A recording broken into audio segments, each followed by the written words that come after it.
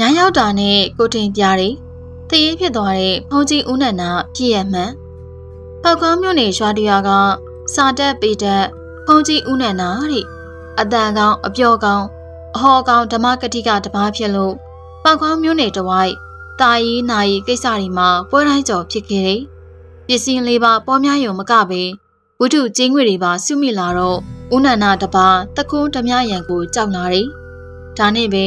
တပေကြီးတစ်လုံးမှာဝိတုငွေတွေအပြည့်ထည့်ပြီးသူ့ရဲ့ចောင်းလီကအောင်မှာမြေချင်းတူးပြီးတော့မြုပ်ထားလိုက်တယ်တကိုးဓမြထက်နှစ်ဆဆိုတဲ့လောဘဆိုတဲ့တရားဆိုကြီးသူ့ရဲ့တန်တန်မှာရောက်လာပြီဆိုတာသူကံများမသိရှာဘူးတနည်းအသက်40ကျော်မှာပဲဟောပြောရလုံးလို့ဖြစ်လာတဲ့လီနာယောဂကနေပဲပြန်လွန်တော်မူခဲ့တယ်။ရှမ်းတော်တစ်ပါးဖြစ်တဲ့အတွက်ပုံမှန်အတိုင်းဆိုရင်အထက်နတ်ပုံကိုပြန်တော်မူရမှာပါ။ အခုတော့လေကားအောက်မှာမြုပ်ထားတဲ့ငွေတပိတ်ပေါ်ဆွဲလန်းတဲ့လောဘကြောင့်ကြောင်ဝိုင်းနေမှာပဲတန်မယာခွန်အုတ်ထုတ်ပြူစောင်းရတဲ့ဖုန်ကြီးတစီသွားဖြစ်ပါတယ်။စာတက်ပြီးတဲ့ဖုန်ကြီးဘဝကလာတာဆိုတော့ငွေတပိတ်ကိုဆွဲလန်းတဲ့လောဘကြောင့်အခုလိုဘဝရောက်ရတယ်ဆိုတာသိချာသိတယ်။ဒါကြောင့်သူ့ရဲ့ကြွလန်းလွန်လန်းကိုရှာတဲ့အနေနဲ့နောက်တက်တဲ့ကျောင်းတိုင်ဖုန်းကြီးကိုကိုတင်ပြပြီးအကူအညီတောင်းမှုကြိုးစားတယ်။ဒါပေမဲ့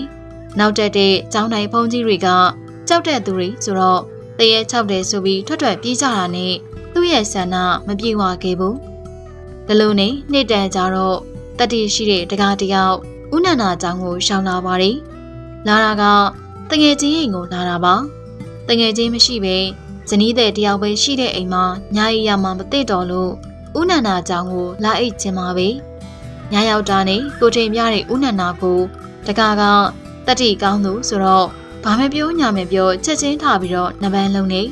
ပြီးတော့တရေကောင်းမှစောင်းထားတဲ့အုတ်ထုပ်ဖြူကိုဖြို့ယူမိသွားတာနဲ့တရေဟာအာရင်ကုန်ခံပြီးကြမ်းမြင့်ပေါ်ကိုပုံကျသွားတယ်အဲ့ဒီအခါကျမှဦးနန္ဒာတစ်ဖြစ်လဲတရေကတကားတော့တတိကောင်းတဲ့သူနဲ့တွေ့ရလို့အားရဝမ်းသာပြရပါတယ်။ငါဟာ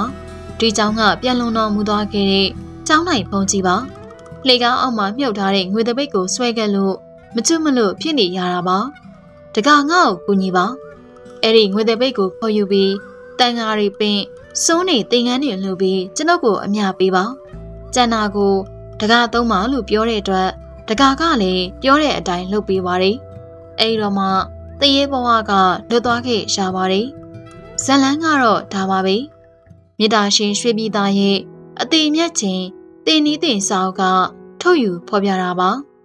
ခုံကြီးကလည်းလောဘနဲ့တည်တယ်။ဒိဋ္ဌိလည်းမပယ်ရသေးတော့ငါဆွဲဆွဲပြီးတော့တည်တဲ့အတွက်တရေဖြစ်တာပါ။တကယ်ပယ်ရတက်ရမှာကဒိဋ္ဌိဖြစ်ပါတယ်။ဓာတ်တော်ကြာသွားပြီဖြစ်တဲ့မိုးကုတ်ဆရာတော်ဘုရားကြီးရဲ့တရားတော်တွေမှာလည်းဟောကြားထားပါတယ်။တခြားသောဆရာတော်များလည်းတစ္ဆာတရားဟောရင်ဒီတိုင်းဟောပါတယ်။တစ္ဆာတကယ်သိဖို့ဆိုတာအရှင်ဆုံးသောတာပန်တည်ပြီးဒိဋ္ဌိဖြုတ်ဖို့ဖြစ်ပါတယ်။ ဝီစီကိစ္စကသူ့လိုလိုတည်သွားရော